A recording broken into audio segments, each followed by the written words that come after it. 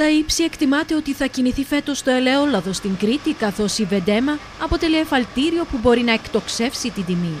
Σύμφωνα με το πρωτοσέλιδο της εφημερίδας Νέα Κρήτη, η τιμή μπορεί να φτάσει και να ξεπεράσει και τα 4 ευρώ το κιλό, γεγονός που σκορπά χαμόγελα στους παραγωγούς. Φέτος οι ευρωτομέδες.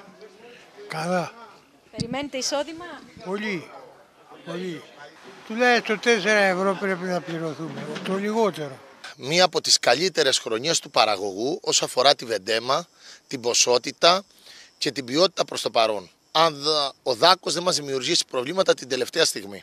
Το γεγονός ότι οι Ισπανοί και οι Ιταλοί υπέστησαν ζημιές αναμένεται να πλήξει τις υπόλοιπες χώρες της Μεσογείου, αλλά να ευνοήσει την Ελλάδα.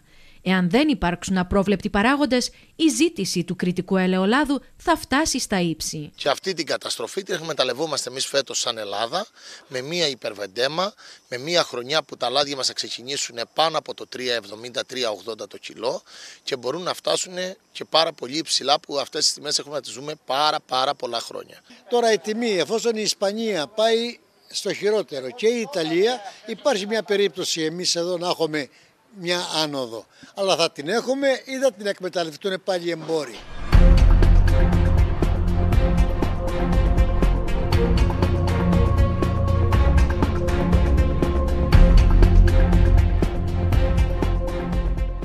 Ένα από τα αγκάθια που αποτελούν όμως κίνδυνο για την ανωδική τροχιά του λαδιού είναι το καταστροφικό πέρασμα του δάκου.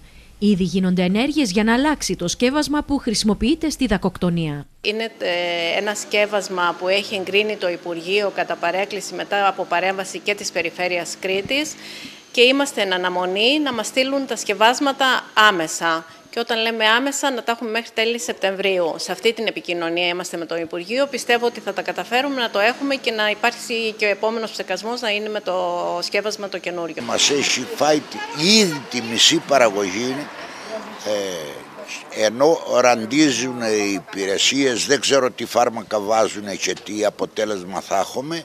Το θέμα είναι ότι εμείς κάνουμε τη δουλειά σωστά όλοι και δεν ξέρουμε τι αποτέλεσμα θα έχει. Ήδη σε κάποιες περιοχές υπάρχουν μεγάλες προσβολές από το δάκο, αλλά υπάρχουν και περιοχές που έχει αντιμετωπιστεί το φαινόμενο. Μία ακόμα προπόθεση που θέτουν οι ελαιοπαραγωγοί για να πάνε όλα κατευχήν είναι να καλυφθεί η έλλειψη εργατικών χεριών την περίοδο της ελαιοσυγκομιδής.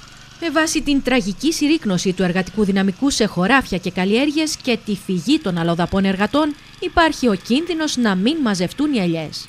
Εξαρτάται από το δάκο, από πολλά πράγματα. Εργατικά χέρια δεν έχουμε.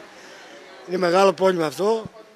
Εξαρτάται πώς θα παίξει ο καιρός. Όπως λέει, δεν υπάρχουν εργατικά χέρια. Δεν ξέρω με η τιμή πώς θα διαμορφωθεί. Πιστεύω δά, ότι θα πάμε καλά. Δεν ξέρω. Θα δείξει. Πάντως ήδη η χρονιά χαρακτηρίζεται χρυσή για το λάδι της Κρήτης και οι παραγωγοί εναποθέτουν τις ελπίδες τους στις ελιές για να βγάλουν ένα καλό εισόδημα.